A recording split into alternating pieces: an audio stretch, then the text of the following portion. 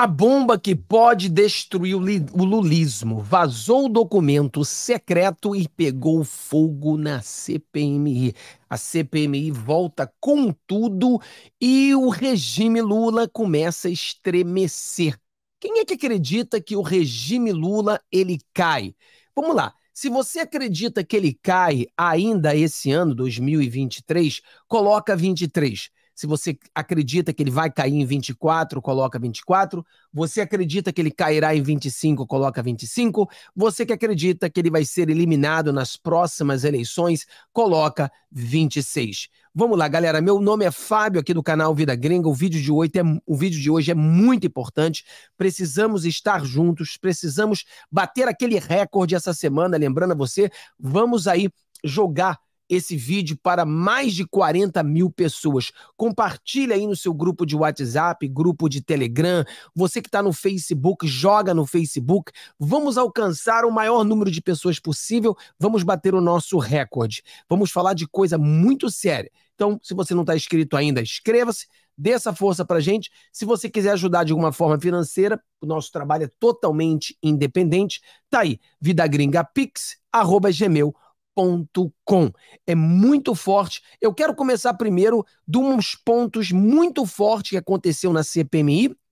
E a gente vai chegar ao final e falar do vazamento desse documento secreto que a esquerda está propagando, quer dizer, não é mais, ah, isso é um blog de direita, eles estão lendo de um blog, você sabe como é que a esquerda é, né?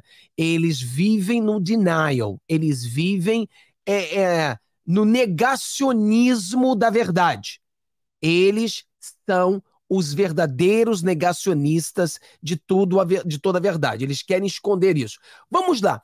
O Zé Maria, muitas pessoas conhece, o conhecem como Zé Melancia, de vez em quando ele joga uma bola para dentro.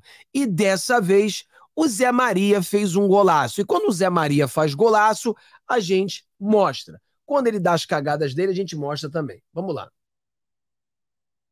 O geral da Polícia Federal, da gestão Lula, assume o que todo mundo sabe aqui. Houve o que falam aqui, o chamado apagão geral. Ele disse aí, por minha culpa, minha máxima culpa. A Polícia Federal tem um sistema de informação importantíssimo. Antes do ex-presidente Jair Bolsonaro, os sistemas de informação do governo eram pulverizados. O Exército tinha o seu e continua tendo, a Aeronáutica tinha um sistema muito bom também e continua tendo, a Marinha tinha e tem o seu, depois tem o da Polícia Federal, que é muito importante, e o Ministério da Justiça. E na Presidência da República tinha o, o sistema de informação do Gabinete de Segurança Institucional.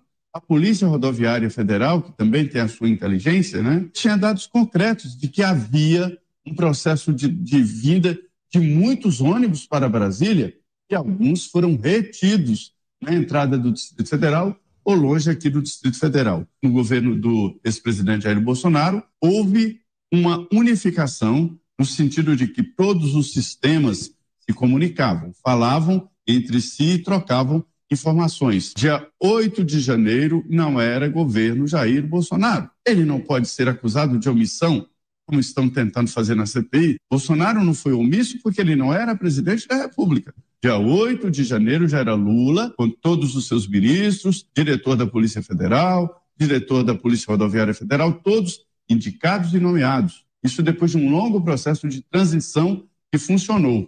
Esta é a realidade. Houve um apagão, houve uma incompetência. Sobra a discussão e a grande interrogação. Esta omissão, omissão no governo Lula, isso foi intencional ou por incompetência. Os dois são graves. Militares, civis envolvidos na segurança da presidência da República falharam feio. Ou foi omissão ou incompetência do governo. O diretor-geral da Polícia. Pessoal, isso aqui foi exatamente mais ou menos o que nós falávamos no dia de ontem a, a, questão aqui, com todos esses documentos secretos agora sendo vazados, que a gente vai mostrar no final do vídeo, e com essa CPMI bombando agora, muitas pessoas importantes depondo, o que nós já sabíamos, mas agora não importa o que você e eu, a gente sabe. O que importa é que a população brasileira tem de saber. Então o que acontece? A população brasileira, ela foi bombardeada com narrativas. O Lula é o mestre das narrativas. Então o Lula criou a narrativa de que tudo era culpa do Bolsonaro, que Bolsonaro era omisso, isso, isso, isso. Só que o Lula está no poder. O Lula começou a fazer a transição do governo desde que, desde quando terminou as eleições. Então ele teve o que dois meses para fazer toda a transição. Então, se houve omissão, foi do governo Lula. Isso tem que ser apontado. A população brasileira tem que entender isso. Nós precisamos compartilhar esse vídeo para que esse povo consiga ver. Por isso que você tem que jogar no grupo do WhatsApp, joga no grupo do Telegram, faz com que sua família entenda o que está sendo falado. Nós temos que entender isso. Então, a questão hoje é bem simples. É o que o próprio o próprio a, o Zé Melancia, ele falou aqui. O Zé Melancia ele falou bem simples aqui sobre essa questão aqui do. Vou pegar aqui, peraí. O que o Zé Melancia falou aqui? Ele falou aqui bem simples, né? É, a questão dele é o seguinte: resta saber se foi intencional ou incompetência do governo Lula. Então a questão não é se foi Albi, a questão é nós sabemos que Lula ele é, é, é, houve uma omissão. Houve uma omissão do governo Lula. O que nos resta saber é se foi algo intencional ou se foi incompetência. Os dois são graves. Né? Negligência é muito grave, porque é a narrativa que vai mostrar para toda a população brasileira do que a gente sempre falou, que o governo Lula, o regime Lula não presta. Então a gente tem que entender. Agora vamos para mais aqui Vamos aqui para mais vídeos para mostrar para você o que está acontecendo na CPMI que está pegando fogo. Vamos com esse aqui, esse aqui só o tira-gosto. Vamos lá, o tira-gosto. Olha isso aqui. Dia 2 de janeiro e o final da madrugada do dia 8 de janeiro, a BIM produziu 33 alertas de inteligência. Do dia? Do dia 6 de janeiro. 2. Dia 2 de janeiro. Dia 2. Até o final do dia 8 até o, até o final do dia do 8. dia 2 até o final do dia 8. O Lula, ele foi para Araquara lá no dia 7. Então o Lula sabia. O Lula sabia, todo mundo sabia, eu sabia, vocês, todo mundo sabia que isso ia dar problema. Todo mundo sabia. Então, 33 notificações desde o dia 8. Então, o governo Lula teve seis dias para se preparar. Seis dias. Agora vamos aqui aonde tudo começa a pegar fogo. Olha só, bombástico. Minha pergunta para o senhor é clara. O senhor adulterou Uma o pergunta. relatório é, da ABIN sobre os alertas que, foram, que foi enviado para cá, para o Congresso Nacional? Não, eu não adulterei. O... Eu fiz os dois relatórios. Eu fiz o primeiro uma planilha é, em que continha é, os alertas encaminhados pela BIM a grupos e continha ali também os alertas encaminhados por mim, pessoalmente, pelo meu telefone para o ministro-chefe do GSI. Certo? Eu entreguei essa planilha ao ministro e o ministro determinou que fosse retirado o nome dele dali, porque ele não era o destinatário oficial daquelas mensagens que ali fosse mantido apenas as mensagens encaminhadas para os grupos de WhatsApp. Ele determinou que fosse feito, eu obedeci a ordem. Nós temos o artigo 9A da lei da BIM, que deixa claro que quem determina as informações que serão encaminhadas às autoridades competentes é o ministro-chefe do GSI. Eu peguei essa primeira planilha e mandei arquivar na BIM para se houvesse necessidade de consulta futura certo? Essa primeira planilha ficou arquivada na Agência Brasileira de Inteligência. Portanto, a, a primeira planilha incluía os alertas aos encaminhados ao grupo de mensagem da BIM e também todos aqueles alertas que encaminhei do meu telefone pessoal para o ministro. Ou seja, o senhor está dizendo que o senhor, então, adulterou a pedido do G. Dias. Eu não adulterei. Favor, colegas. Eu não adulterei refuto isso. O senhor retirou uma informação. Por ordem do ministro. Ou seja, o senhor atendeu. Não, colegas, por favor. Senhores, senhores, nós estamos numa, numa, ouvindo aqui a inquirição da, da relatora. Ela está fazendo uma inquirição, ao meu ver, inclusive, importantíssima. Então eu peço silêncio, porque penso que estamos vivendo aqui um dos momentos importantes dessa comissão parlamentar de inquérito. Ela está fazendo aqui um, um, requerimento objetivo, inteligente e muito pertinente. Eu peço a todos aí que ouçamos com, com atenção.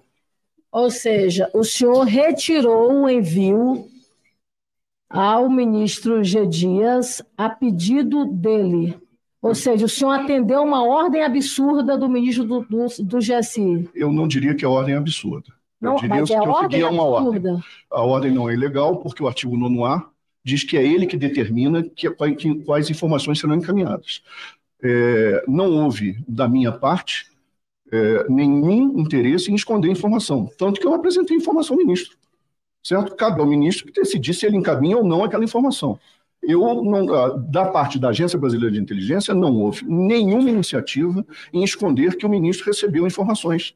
E ele, ele recebeu essas informações de mim. A minha pergunta para o senhor é. Então, aqui é muito, muito, muito forte. Primeiro, que a esquerdista ali, ela já diz que o, o, o Dias fez um pedido absurdo. Então, ela ali, ela já deu a entender que o dia está errado. Bem capaz do, do regime Lula jogar a sombra, né, o G Dias, como boi de piranha. Porque você está vendo que ela ali não limpou a, a, a, barra dele. Ela disse que ele fez uma ordem absurda. Que deu uma ordem absurda. Que ele respondeu. Ele respeitou uma ordem absurda. E o cara falou: não, não, não, não. Ele é meu chefe. Agora, será se o G Dias estava respondendo também do seu chefe? Já pensou nisso? Desculpa. Será se ele respondeu também ele ele o chefe dele mandou ele fazer isso? Porque esse cara, ele tá tirando dele da reta e falando, ó, ó, eu tô eu fiz o que meu chefe mandou. Ele meu chefe falou para fiz um relatório, meu chefe falou para tirar o nome, eu fui, fiz outro relatório e enviei. Então, se alguém adulterou, foi ele que adulterou. Com as ordens dele. Ele deu a ordem para trocar. Agora, essa ordem que ele deu, ela foi dada pelo chefe do Dias também? Ou foi na cabeça do Dias? Será se foi o Lula que disse para o Dias trocar isso porque ia pegar mal? Porque eu lembro que houve uma tentativa, ou tentativa não, desculpa. Aconteceu. As imagens que mostravam que o Dino estava, o Dino, desculpa, o Dias estava lá dentro, essas imagens tinham, colocado, tinham sido colocadas sob sigilo. Essas imagens vazaram, ninguém sabe quem vazou. Tem pessoas que pensam que foi a CIA, outras pessoas dizem que foi sei lá quem mas as imagens vazaram que mostravam que o, Di o Dias ele caiu pelas imagens que foram vazadas. Essas mesmas imagens eram protegidas pelo regime PT para que não fossem vazadas, não queriam que fosse vazada. O próprio governo disse que botou tudo sob sigilo. Então, essa é a pergunta.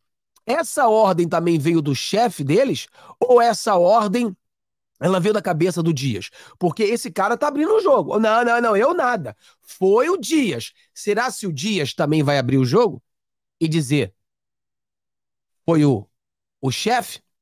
Foi o Nine Fingers? Não sei. Não sei. E aí o que aconteceu? O Dino, ele tentou fazer aquela jogada, né? Mais uma vez, o Dino, que já tinha tentado esconder algumas imagens, o Dino tenta esconder novamente. Olha só isso aqui.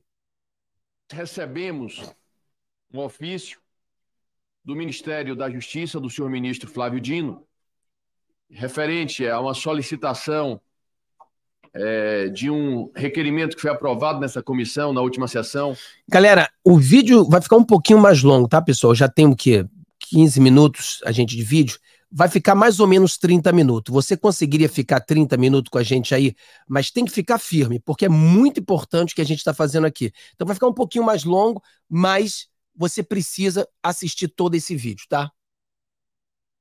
Que solicita as imagens internas do Ministério da Justiça no dia 8 de janeiro, e o senhor ministro nos respondeu afirmando que não poderia passar esses, essas imagens ou seja, aqui o Dino disse que não vai mandar imagem nenhuma, como falar que iam botar todas as imagens sob sigilo, toda aquela coisa toda. Eles estão trabalhando para que o povo saiba o que aconteceu, escondendo um montão de coisa. Escondendo tudo. Eles escondem tudo para dizer que estão trabalhando. Como é que a Lula falou? Que o, o, o governo dele vai ser um governo transparente. É aquele governo que criticava o sigilo que Bolsonaro tinha, etc e tal, agora não permite ninguém ver o que, que ele está fazendo. Inacreditável. Quem é que continua na live aí, dá um high five, bota um five assim, você que continua, são 15 minutos, você continua, dá um five aí para a gente ver quem continua o tempo todo. Que as mesmas fazem parte do conjunto de provas que está, que faz parte de um projeto que está em sigilo no Supremo Tribunal Federal. Vejam bem, senhores deputados, senhoras deputadas, senhores senadores, senhoras senadoras, não faz sentido, não faz sentido nenhum que tudo aquilo que esteja é, fazendo parte dos inquéritos não possa ser objetivo, não possa ser do conhecimento da CPMI. Sendo assim, e até pela obrigação que eu tenho, como presidente desse colegiado, de manter a integridade, a autoridade desse colegiado, eu não posso aceitar que as partes que sejam objeto de determinado requerimento simplesmente tenham o direito de dizer eu não vou atender. Imagina. Porque se isso for feito, se nós adotarmos e aceitarmos passivamente esse tipo de comportamento, essa CPMI está fadada mais do que ao fracasso, está condenada ao ridículo. Exato. De todos os requerimentos que nós aprovamos aqui, simplesmente o alvo do requerimento, olha, eu não vou entregar. E se nós agirmos dessa forma em relação ao ministro Flávio Dino, e todo respeito ao ministro Flávio Dino, eu não conheço é, pessoalmente, nunca estive com o ministro pessoalmente, mas por isso mesmo não tenho nenhum motivo para ter nada contra ele, pelo contrário, considero ele um quadro público, uma figura e um quadro da mais alta significância nesse país, senador da República, etc. Mas se eu não, não se eu aceitar passivamente que o ministro pode se denegar a dar é, conhecimento à CPI de um documento que a CPI requereu, obviamente que isso prevalecerá para todos e qualquer outros é, alvos de requerimento da CPMI. Assim, eu quero informar ao colegiado que estou determinando a advocacia do Senado para que solicite ao Supremo Tribunal Federal uma ordem para que o Supremo solicite, determine ao ministro que sejam entregues esses documentos. Então, essa decisão é a decisão que a mesa está tomada. Então ele vai ser obrigado, né? Essa determinação. Aqui o, o Ramagem ele falou um pouquinho mais, melhor sobre isso, de uma forma mais. Todas as imagens que auxiliem. Vamos lá. Eu venho trazer aqui que já estamos manejando uma medida perante o Ministério Público Federal, a Procuradoria-Geral da República, para apurar esta negativa do ministro a fornecer as imagens, conforme requerimento dessa CPMI. Como se vê, o ministro não apenas desprezou a atribuição constitucional dessa CPMI, como do próprio Congresso Nacional, e desrespeita ainda um julgado do próprio Supremo Tribunal Federal sobre essas imagens, que decidiu que o esclarecimento do caso depende da análise imprescindível de todas as imagens que auxiliem na identificação dos responsáveis. Asseverou ainda que inexiste sigilo das imagens com base na Lei de Acesso à Informação. Isso foi um despacho do Supremo Tribunal Federal de 21 de abril de 2023, nos autos do inquérito 4923 do Supremo Tribunal Federal. Então, caso o ministro Flávio Dino não atenda, que venha a ser apurado crime de responsabilidade do ministro de Estado e desobediência do ministro Flávio Dino. Uau! Uau! Se ele não atenda, que venha a ser visto como crime de responsabilidade ao ministro. Tem que ser assim, pessoal. Tem que ir para cima. A direita tem que ir para cima. E aqui eu quero conversar com você sobre um ponto específico. Nós, eu e você, a família. Isso... Muitas pessoas falam assim: ah, fala logo, você enrola muito. Você não está entendendo. Isso aqui não é jornal da Globo. Isso aqui é uma família. Nós somos uma família, o pessoal da família Vida Gringa. Nós somos uma família. E aqui a gente bate papo, a gente. É, é, entendeu? Converso com as pessoas, respondo os comentários ali, a gente bate esse papo. Então não é, isso aqui não é jornal, aonde eles falam e você escuta e acabou. Não, aqui a gente bate papo. E, por exemplo, o nosso canal, nós somos as pessoas coerentes. Nós somos as pessoas que somos conservadores. O conservador é equilíbrio. É equilíbrio. Então o que acontece? Nós não estamos no 8 nem no 80. Eu não sou aquela pessoa que diz que na, a CPMI vai prender Lula e Dino. Mas também não somos aquela pessoa que diz que a CPI não vai dar em nada, vai terminar em pizza. Não, nós estamos sempre no meio, sempre ali, ó. Sempre no meio, ó. No meio soa feio, né? Porque parece que a gente está no, no muro, né? No morno. Não, não, não. Nós estamos sempre no equilíbrio. Nós sempre estamos aí na coerência. Nós sabemos que algo vai acontecer, mas não será isso que as pessoas estão fazendo. Nós não temos essas expectativas de teenager. E não, se você tem um jovem, você tem um filho jovem, você já teve uma filha jovem, um filho jovem, você sabe que os jovens eles têm a tendência de exagerar. O jovem, quando termina o seu primeiro namoro, ela e ele acham que já era. Nunca mais vou encontrar alguém que, oh, meu Deus, o cara que eu mais amava da minha vida, nunca mais vou encontrar uma outra pessoa que eu. Aí duas semanas depois está dando beijo no outro, encontrou um outro, tá tudo feliz. É assim, a gente não pode agir como teenager. Não podemos agir, agir como jovem, que sempre tá sempre no hype e no low. Hype, low. Hype, low. Não, nós somos coerentes, sempre no equilíbrio, sempre entendendo. O Lula vai ser preso com a CPMI? Não. Ah, mas não vai acontecer nada? Não. Vai acontecer algo, a narrativa será feita. Ele não vai ser preso, mas não quer dizer que não vai acontecer nada. O Brasil verá que ele foi omisso, que ele foi incapaz, que ele a gente vai vamos, temos que pesquisar para saber, temos que investigar para saber se foi uma questão intencional ou foi porque é um governo incapacitado. Mas o povo brasileiro saberá disso. A gente vai, é a mesma coisa que a gente fala do Poio Carvalho. O Lula vai ser preso. Não vai acontecer nada. E nós estamos na coerência. O que, que vai acontecer? Nós não sabemos o que exatamente vai acontecer. Não acreditamos que o Lula será preso imediatamente, mas nós sabemos que existe a possibilidade do Lula ter grandes problemas com o Poio Carvalho. Mas nós também não vamos dizer que ah, não vai acontecer nada, termina em pizza. Não, nós temos, nós temos que passar a notícia e esperar o melhor. É isso que a gente tem que fazer. Entendeu? Mas nunca nesse hype Poxa, tem gente que um dia fala assim pra mim: essa CPI não vai dar em nada. Aí no dia seguinte, uou, o Lula vai ser preso na CPI. Aí esse dia seguinte, ah, a CPI não vai dar em nada. Ah, o Lula vai ser preso. Ah, nós temos uma oposição fortíssima. Ah, não existe oposição. Caramba, cara, bota o pé no chão, mano. Para com isso. Cada dia você você tá nesse. Parece um mercado financeiro. Up, down, up, down, up, down. Não. Vamos ficar coerência. Coerência, tá bom? Coerência. O Brasil é isso. É uma briga de três pilares e nós teremos a vitória. Tá bom? Quem continua na, na live desde o começo, desde o começo, dá um high five aí, desde o começo. Agora vamos aqui, o do documento vazado. Documento vazado. E a importância, talvez, isso aqui, ó, Metrópolis.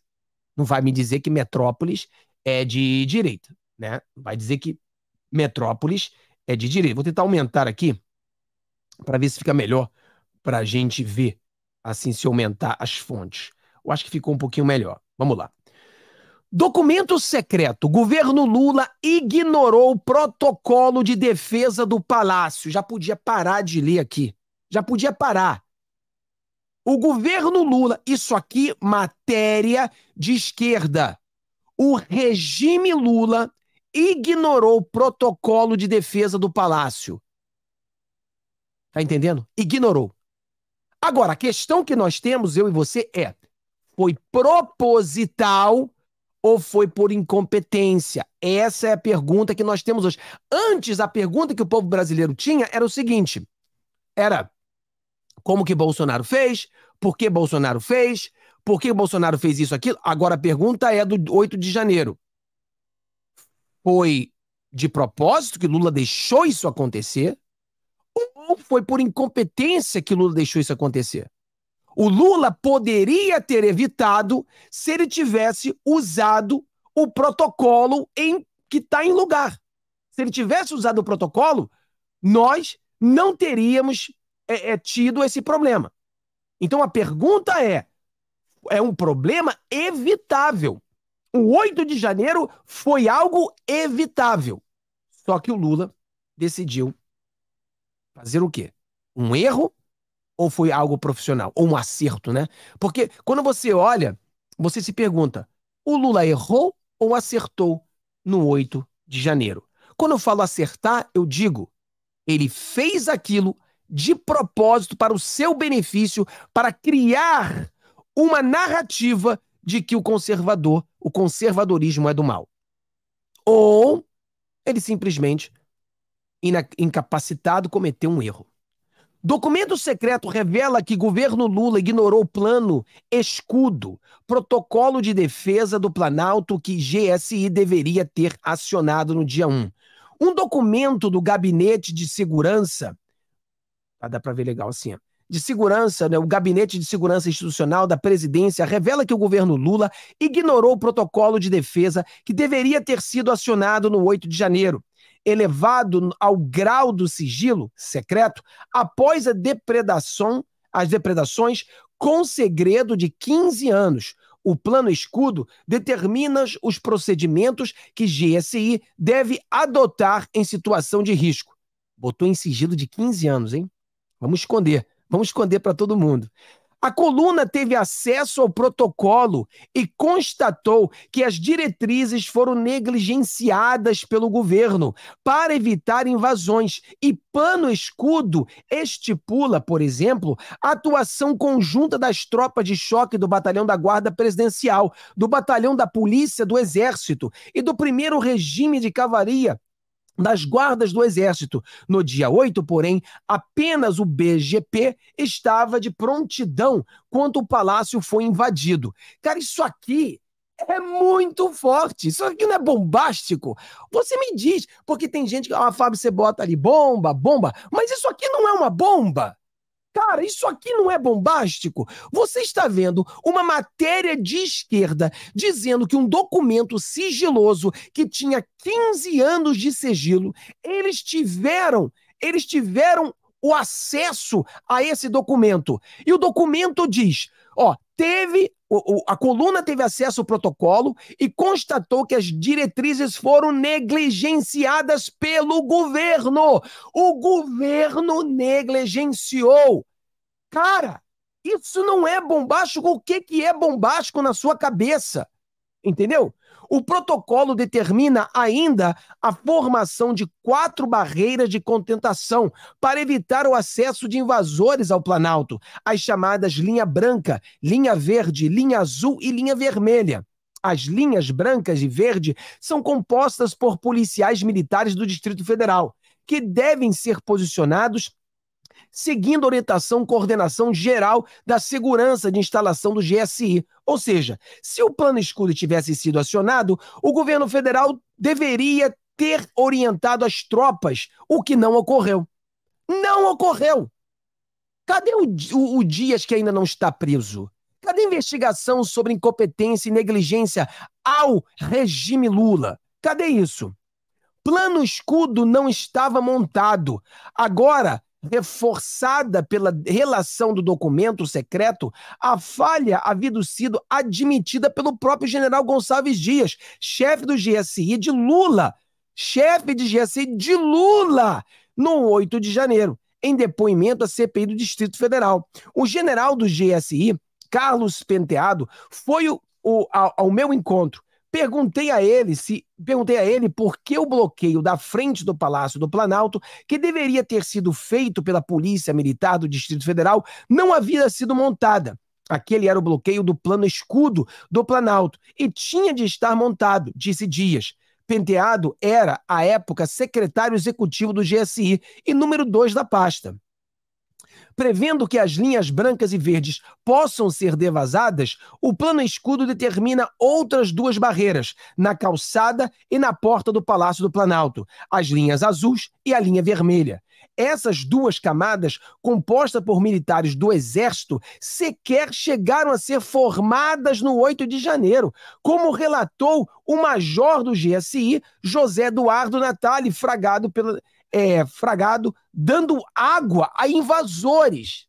Cara, meu Deus. Pessoal, nós temos que compartilhar isso aqui, galera, com todo mundo. A Polícia Federal Natali disse que as duas linhas de proteção da PM já haviam sido rompidas quando o exército chegou e que, devido ao número de manifestantes, a terceira linha também foi rapidamente rompida. O plano escudo estipula ainda que cabe ao Departamento de Segurança Presidencial determinar o efetivo nas portas do Planalto. A quantidade pode variar de um pelotão a um batalhão.